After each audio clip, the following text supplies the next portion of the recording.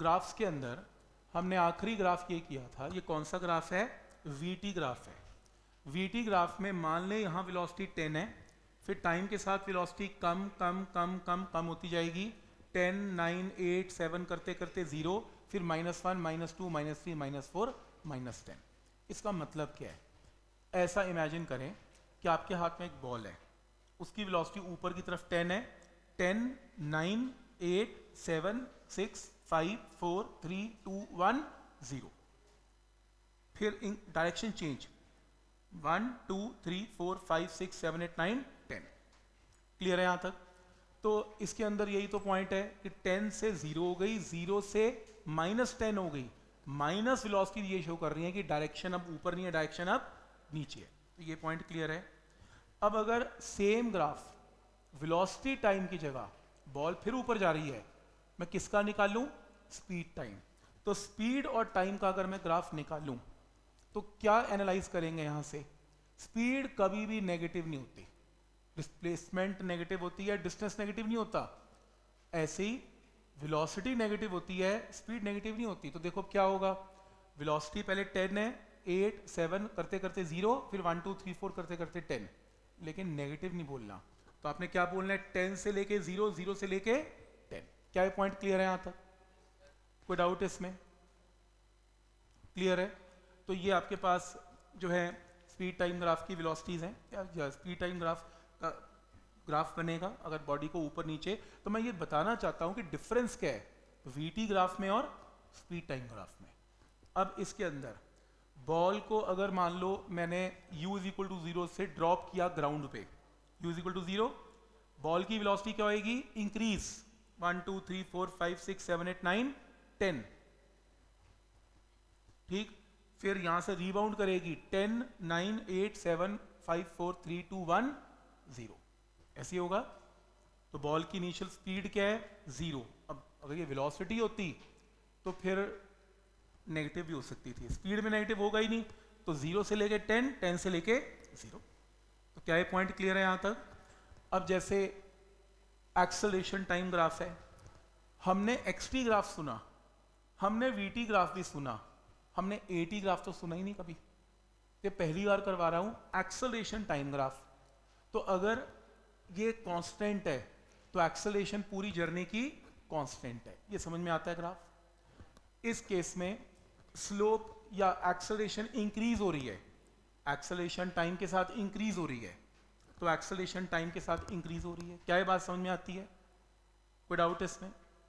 Next है body moving with variable acceleration का graph देख रहे हो। ये एक्सलेशन है और ये टाइम है। Acceleration increase decrease increase decrease हो रही है। ये समझ में आ रहा है? अगर मैं एरिया निकालूं इंपॉर्टेंट है एरिया निकालूं अंडर एटी ग्राफ हमने ये तो सुने वीटी ग्राफ का एरिया आपको डिस्प्लेसमेंट देगा। ये कौन सा ग्राफ है? एटी ग्राफ तो अगर मैं एक्सलेशन टाइम ग्राफ लूँ और उसका एरिया निकाल निकालूं तो मुझे क्या मिलेगी? चेंज इन वेलोसिटी वेलोसिटी नहीं चेंज इन वेलोसिटी अब ये मैं बताता हूँ कैसे। इसको समझने के लिए इमेजिन करो कि मैं आपसे ये पूछता हूँ कि मेरे पास एक ग्राफ है और जिसका ये टाइम है और जिसमें ये एक्सलेशन है। तो ये 80 है। क्या है पॉइंट क्लियर है यहाँ तक? 80 है। इसके अंदर एक्सेलरेशन की value later suppose A is equal to two metres पर सेकेंड का स्क्वायर है। और मान लो ये time T is equal to ten second है। आप बस मुझे ये बताएँ कि अगर मैं इसके अंडर एरिया निकालूं एरिया निकालूं तो ये क्या है ए और ये क्या है टी एरिया क्या बनेगा? A into T A into T पर मुझे पता है कि v क्या होता है? U प्लस ए टी तो v माइनस यू क्या है? ए टी तो एटी क्या है इसका एरिया तो क्या मैं ये बोल सकता हूँ कि एरिया का मतलब क्या है? चेंज इन वेलोसिटी वेलोसिटी नहीं बोलना चेंज इन वेलोसिटी तो अगर मैं ये टू और ये टेन है तो एटी एरिया क्या आ गया? ट्वेंटी इसके यूनिट्स क्या होंगे? इसके जो टू मीटर्स पर सेकेंड स्क्वायर को अगर आप टेन सेकेंड से मल्टीप्लाई करें तो आंसर क्या आएगा? ट्वेंटी मीटर पर सेकेंड तो चेंज इन वेलोसिटी की वैल्यू कितनी आ गई? 20 मीटर पर सेकेंड क्या पॉइंट समझ में आ रहा है यहाँ तक? कोई डाउट इसमें? क्लियर है? तो कभी कभी एक ग्राफ देगा 80 आपको कहेगा initial velocity u is equal to five metre पर सेकेंड है। आपको u भी देगा। आपको कहेगा फाइनल वेलोसिटी क्या होगी बताओ? तो आप पहले एरिया से क्या निकालेंगे? चेंज इन वेलोसिटी यू आपको गिवन होगा, वहाँ से क्या जाएगा? वी आ जाएगा। तो इंपॉर्टेंस समझ में आ रही है इसकी क्या इंपॉर्टेंस है? तो इसके अंदर एक तो ये ग्राफ है। तो अगर आपको चेंज इन वेलोसिटी निकालनी है तो इसका एरिया प्लस इसका एरिया माइनस इसका एरिया तो इन्हें ये क्या जाएगा? चेंज इन वेलोसिटी कुछ क्वेश्चंस गिवन है एनसीईआरटी में कुछ इस टाइप के ग्राफिकल जो आ जाते हैं स्कूल के अंदर एनसीईआरटी की बुक के अंदर गिवन है क्योंकि। और ये कंपटीशन के अंदर भी नीट और मेन मैंने देखे आते हुए ऐसे क्वेश्चन कैसे? आपको वो डिस्टेंस टाइम ग्राफ देगा किसका? दो ट्रेन का। Which start moving simultaneously in same direction how much ahead of A is B when motion start तो ये आपके पास किसका ग्राफ है? बी का ग्राफ है। बी कहाँ से स्टार्ट हो रहा है डिस्टेंस 100 किलोमीटर से और ए कहाँ से स्टार्ट हो रहा है ज़ीरो से। तो जब ये स्टार्ट हुए at time T is equal to zero इनमें कितनी दूरी है? 100 किलोमीटर। तो आंसर क्या होगा? 100 किलोमीटर। पहला आंसर क्लियर है? इनमें डिस्टेंस 100 किलोमीटर है at the time of starting number two when and where A catches B A ने बी को कब कैच किया?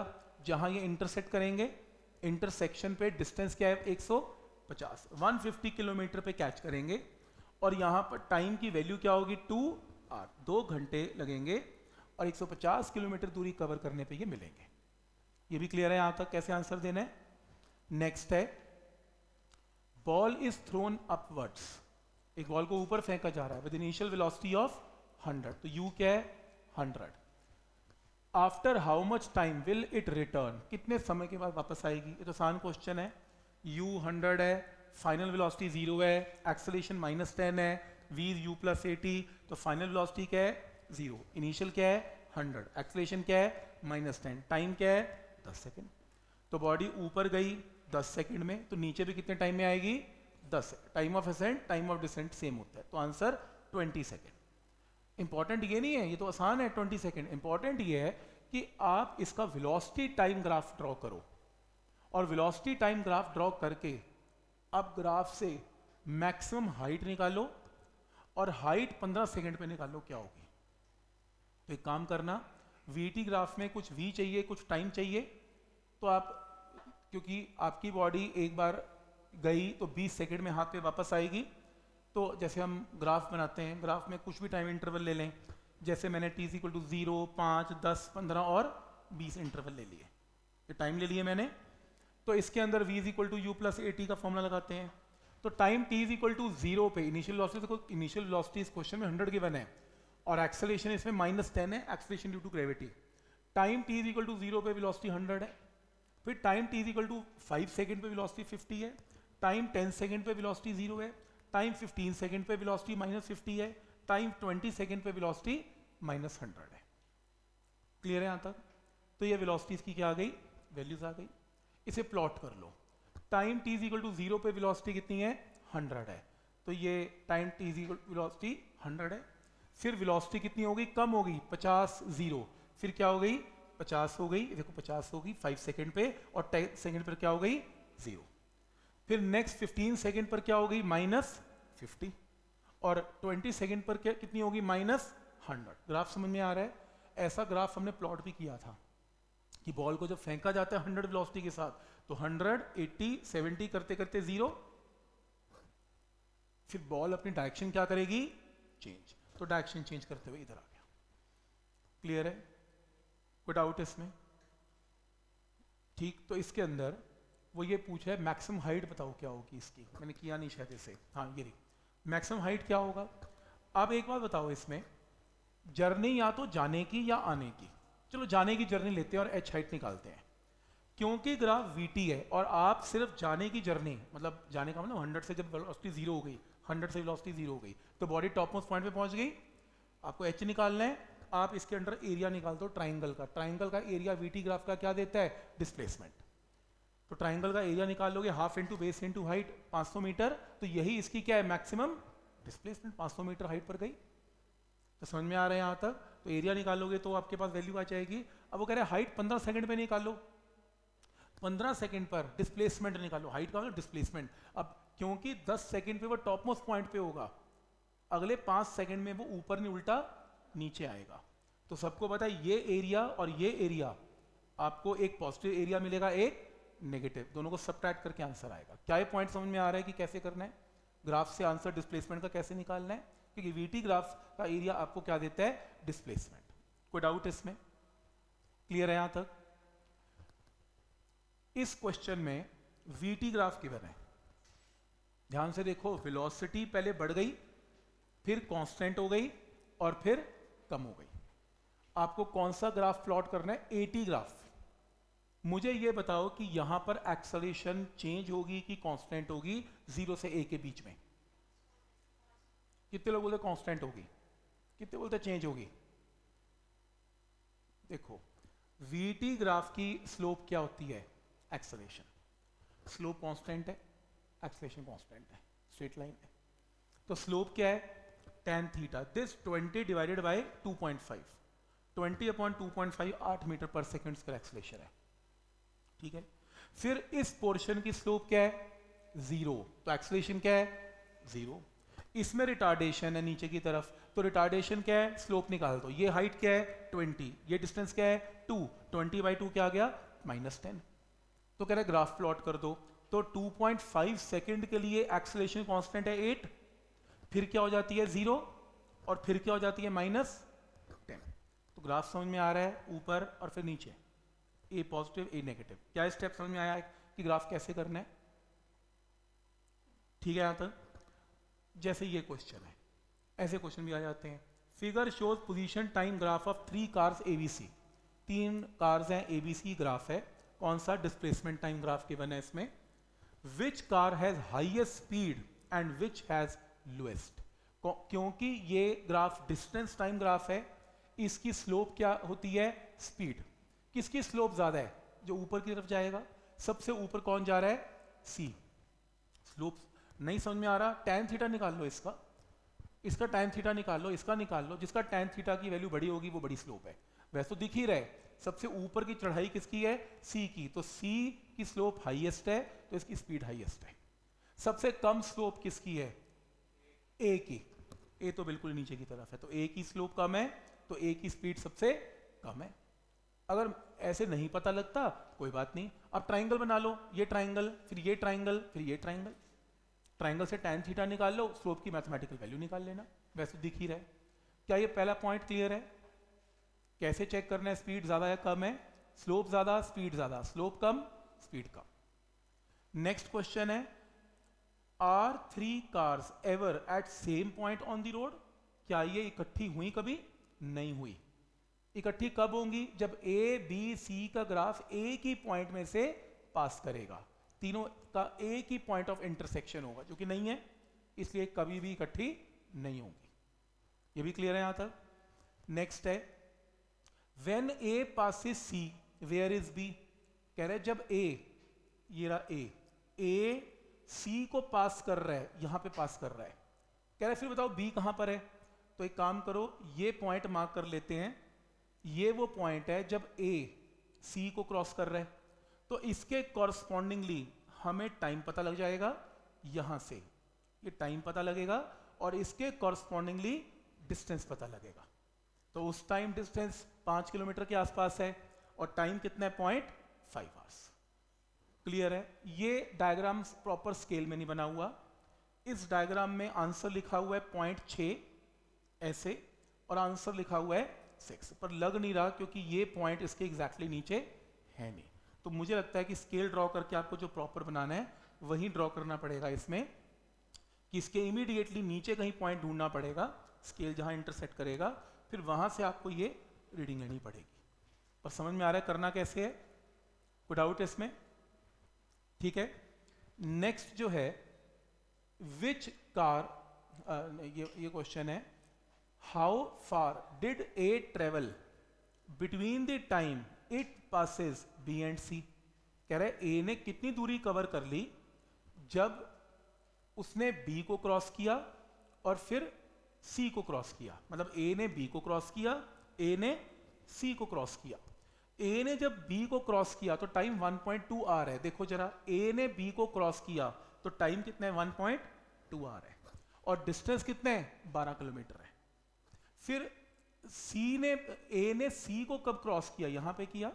तो डिस्टेंस 9 किलोमीटर है और टाइम पॉइंट फाइव है। तो ग्राफ से रीड कर लिया। 1.2 आर पे डिस्टेंस 12 किलोमीटर है 0.6 पे 9 किलोमीटर है। तो इनमें डिस्टेंस का डिफरेंस क्या है? इन दोनों को माइनस करके तीन किलोमीटर इज़ आंसर तो कैसे ग्राफ रीड करने समझ में आ रहा है? ये प्रैक्टिकल प्रॉब्लम्स हैं, ऐसी आती हैं प्रॉब्लम्स स्कूल के अंदर। समझ में आ रहा है यहाँ तक? ये टिपिकल प्रॉब्लम है, जो एक बार तो मेंस में भी डाल रखी है एनसीईआरटी की सेम प्रॉब्लम ये वाली। है एनसीईआरटी की स्कूल में आ सकती है। As soon as car just start from rest in a certain direction car कहता है जी रेस्ट से स्टार्ट हो गई। ये वेलोसिटी टाइम ग्राफ है, इसकी वेलोसिटी ज़ीरो थी। A scooter moving with uniform speed overtakes the car तो एक स्कूटर ने कार को क्या किया? ओवरटेक किया। कैसे किया भाई? क्योंकि स्कूटर की स्पीड हमेशा क्या है? कांस्टेंट तीस तीस तीस तीस तीस। जबकि कार रेस्ट से स्टार्ट होती है, आराम से स्पीड इंक्रीज करती है, फिर 45 पे हो जाती है। और फिर कार स्कूटर को क्या करेगी? थोड़ी देर में ओवरटेक पहले स्कूटर करेगा, फिर कार करेगी। क्या पॉइंट क्लियर है? ठीक।